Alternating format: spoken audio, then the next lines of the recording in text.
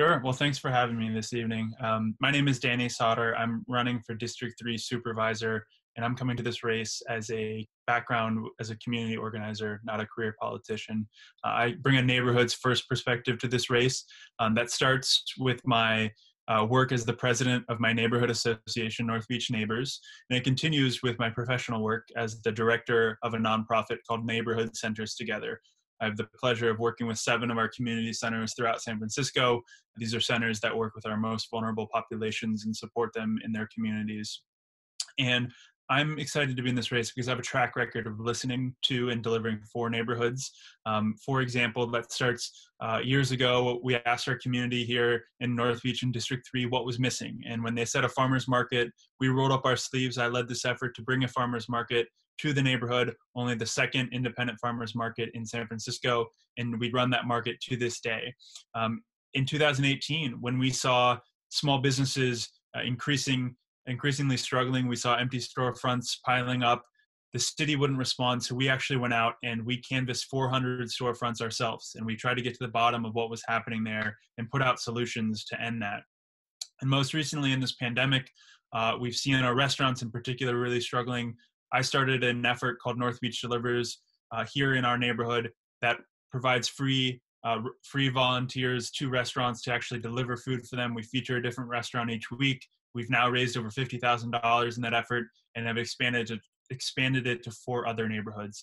So that's my background. Uh, that's my track record. Um, I look forward to getting into some of the issues tonight. Okay, thanks. Um, do we have any questions? John Mark has a question for you.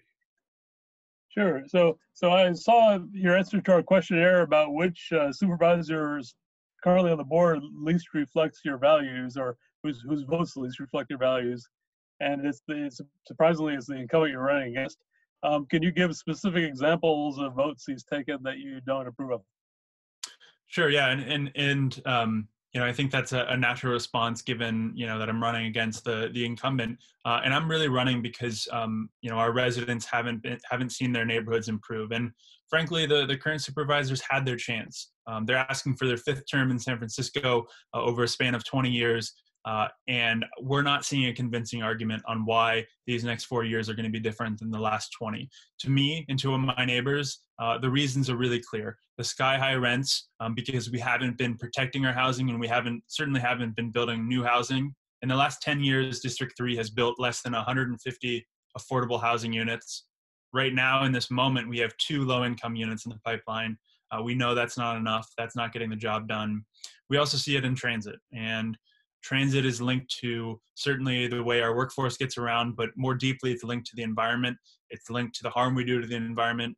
40% of our emissions here in San Francisco come from private vehicles, and District 3 in particular has not been making enough strides on transit. You know, my neighbors haven't been seeing the streets get safer, they haven't been seeing the bus lines get faster. We're not making room, especially in this pandemic, uh, for uh, solutions like pop up protected bike lanes, like slow streets. District 3 still does not have a single slow street. Um, and these are some of the examples, uh, especially in recent years, that speak to just the lack of leadership and the disappointment. Uh, and I'm running because I don't think our neighborhoods can afford four more years of those same results. And to follow up, it sounds like you don't understand the difference between the legislative and executive bodies here. Most of the problems we referred to are really the responsibility of the mayor, and the supervisors have actually very little say under the Kauffman Charter in what they can do. Well, I think um, again to speak to you know the amount of time that um, you know someone whether that's four years in one term, two eight years in two terms, and and now uh, asking for a fifth term, there's plenty of time to get the job done. And, and certainly, I understand that there's discretion between legislative and executive. Um, but at the end of the day, I think that a, a, supervisor is there to deliver for their neighborhoods. Sometimes they can do that through uh, the legislative avenues. Sometimes it is just leadership. Sometimes it's working with the executive branch. So um, certainly there's uh, there's different avenues to get there. But at the end of the day, I think the the beauty uh, of the district model is that it is for supervisors who can provide for those neighborhoods, protect, advance, grow those neighborhoods. Um, and so that would be how I would ask you to judge me.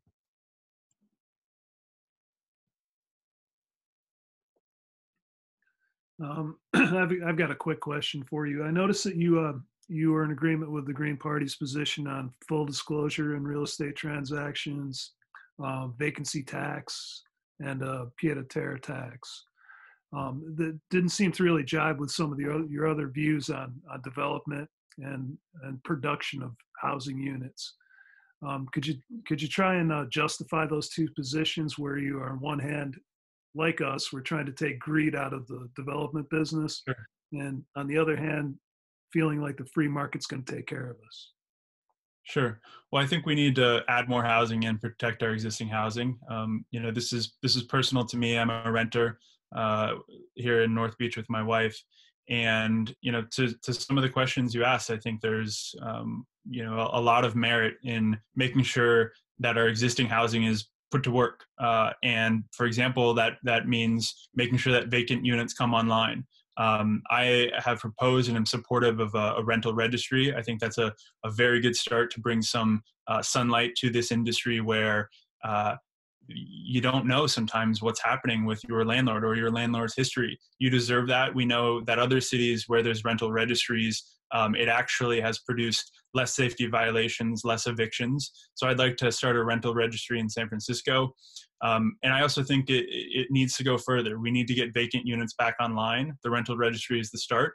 Um, but after that, you know, there's there's a really interesting idea that I've been learning about coming out of Lisbon, where they're actually um, the city is actually uh, taking uh, taking on the burden, if you will, of renting out some of the vacant units. In particular, they've started this in the midst of this pandemic uh, for the Airbnb rentals that you know are just not in use, and they are using that as a way, a creative way to get units back online. So I think we need to do that here in San Francisco too.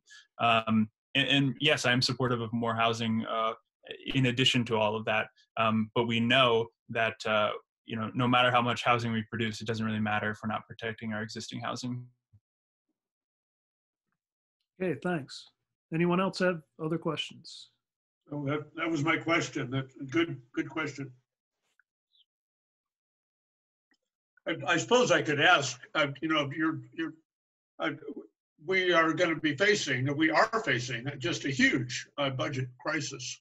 Yeah. And uh, what are some of your ideas, at, at, you know, as going forward? And I, I know none of us really have an answer, uh, but I'd, I'd, I'd really enjoy hearing your take. Sure. Yeah, it's it's uh I mean it is the question of the next few years. Um, you know, first first right now, um, there's four or five um, measures that have been proposed to be on the November ballot uh, related to raising funds, and I'm watching each of those closely. Um, and, and, I've said this in, in other endorsements. Um, I haven't taken a position on any of those yet, simply because I'm waiting for the um, the controller's report on each of them to come out, the economic impact report. I think especially when the, the question is about the you know the economic impact, that is a report we all deserve um, to read first before making a position. Um, so I'm doing that on all four or five that are coming out. Um, you know after that. Uh, I would say that I think that the way forward is through investment. Um, I think of, of past recessions, um, the 2001 downturn, uh, it saw uh, the largest low-income housing tax credit uh, usage in in history to that point from a federal level here in North Beach to produce about 300 units for our North Beach Place apartments. Um, that's the sort of investment that I think uh, is the way forward, where we're actually producing jobs, producing infrastructure as well, whether that's affordable housing, whether that's transit, uh, whether that's schools or public works. Um, that's the sort of uh, priority that I would put forward on the board. Um, and, and, finally, I think it comes down to personal responsibility as well. Um, the mayor has asked the departments to cut their budgets 10 to 15 percent, and we know that could impact staff, that could impact programs. Um, if I'm elected, I've already pledged to uh, at least have a pay decrease of 10 to 15 percent as well, um, as a small wage, is to show um, that the leadership that we elect should be held to the same standards as our city and departments. Good, thank you. Thanks. Okay, well, thanks very much for joining us tonight. Um, we appreciate you coming out, and uh, this this statement will be available for the public to view, and um, we'll let you know about the endorsements. Sure. Thanks. Yeah. No, thank you all for for having me tonight. Um, if you ever want to follow up, or if there's more clarification, Danny at D, excuse me, Danny at danny d3.com is my email.